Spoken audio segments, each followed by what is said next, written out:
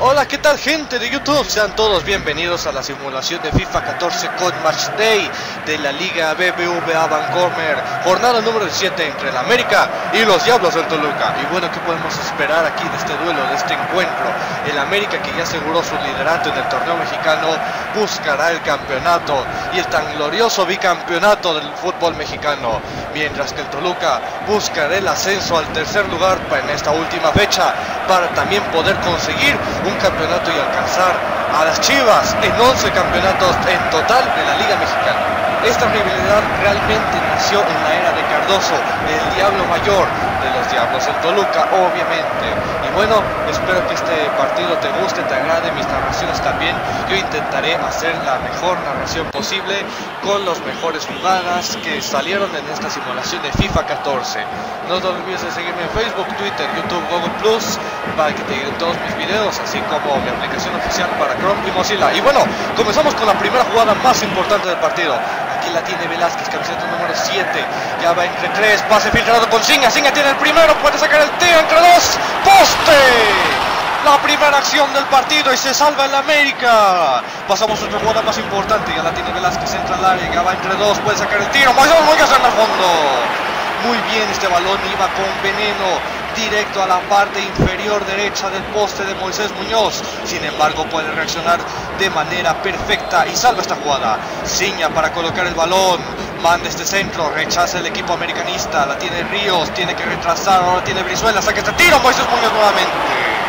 Este Moisés Muñoz, salvador del equipo americanista, nuevamente, nuevamente mantiene el marcador de empate. Y nos vamos a otro segundo tiro de esquina. Nuevamente Ciña para acomodar el balón en el centro del área. Manda este tiro. Wilson Thiago. Nada. Este balón pasa por un costado, por el lado izquierdo y desviadísimo.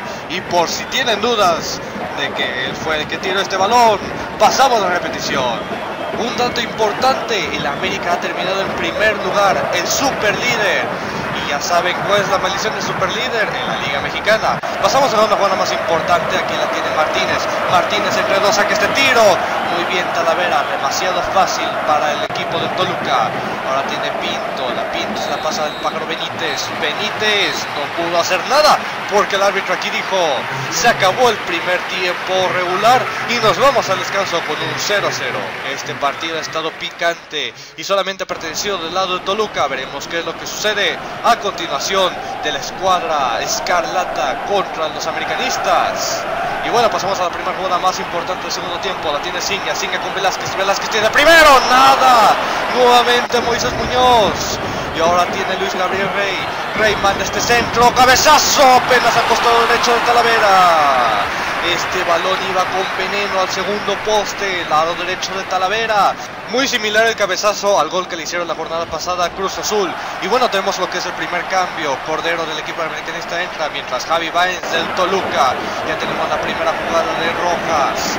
Rojas que entra al área entre dos. Puede que saque este tiro. Nada, Moisés Muñoz se salva.